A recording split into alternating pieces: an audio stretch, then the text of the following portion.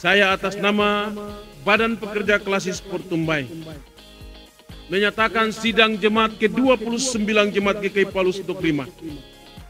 Dibuka dengan resmi di dalam nama Bapa, Anak, dan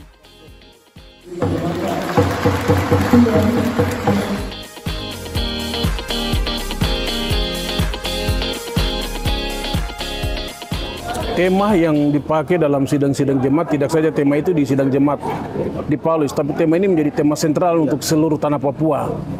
Dan ini tema tahun tema lima tahunan dalam apa kepemimpinan periode 2022 2027. Tema ini dipakai yaitu apa? Kasih Kristus menggerakkan kemandirian gereja, mewujudkan perdamaian, keadilan dan kesejahteraan. Nah, khusus jemaat Paulus 25 memberikan subtema itu melalui sidang yang ke-29 Jemaat Paulus 25 eh, membangun kesehatan untuk pembaharuan GKI menuju pemberdayaan potensi di dalam jemaat. Di tahun 2024 difokuskan pada pemberdayaan terhadap warga jemaat itu.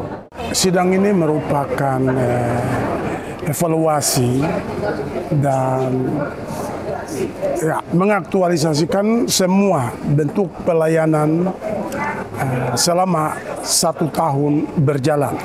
Jadi sidang itu dilaksanakan dalam satu tahun satu kali. Ya terutama unsur-unsur PKB, eh, PW, PAM, dan PAR.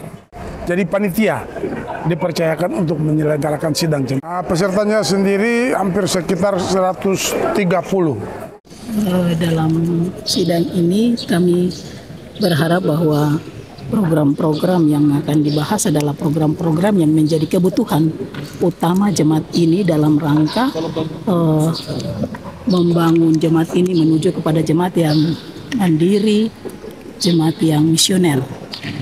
Itu harapan kami supaya tidak ada program-program yang sifatnya uh, sambil lalu, tetapi program-program itu memiliki manfaat dampak yang besar pada pertumbuhan umat dalam jemaat GKI Paulus.